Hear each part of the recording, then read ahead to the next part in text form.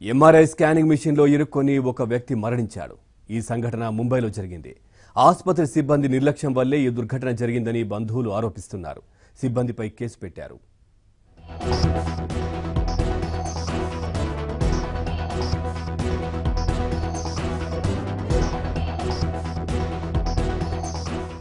ముంబైలోని ఓ ప్రైవేట్ ఆసుపత్రిలో దారుణం జరిగింది.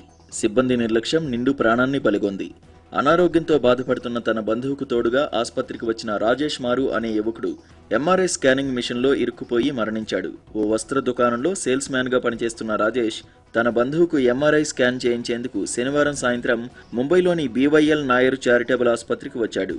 స్కానింగ్ కోసం రోగిని ఎంఆర్ఐ గదిలోకి తీసుకెళ్తుండగా వార్డు బాయ్ సూచన మేరకు ఆక్సిజన్ సిలిండర్ను తోసుకుంటూ రాజేష్ కూడా వెళ్ళాడు. సాధారణంగా ఎంఆర్ఐ స్కానింగ్ గదిలోకి లోహపు వస్తువులు మెడికల్ ఇంప్లాంట్స్ వంటివి అనుమతించరు. ఎంఆర్ఐ మిషన్కు ఉన్న అయస్కాంత శక్తి సిలిండర్తో పాటు రాజేష్ను లాగేసింది.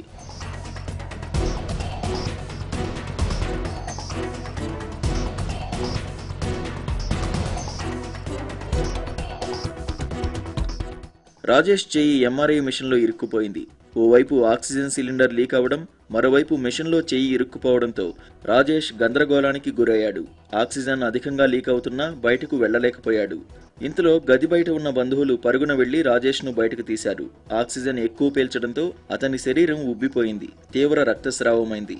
వెంటనే అత్యవసర విభాగానికి తీసుకువెళ్ళగా చికిత్స పొందుతూ పది నిమిషాల్లో అతను మరణించాడు. వారించిన వార్డు బాయ్ నిర్లక్ష్యంగా వ్యవహరించాడని రాజేష్ బంధువుల ఆరోపణ.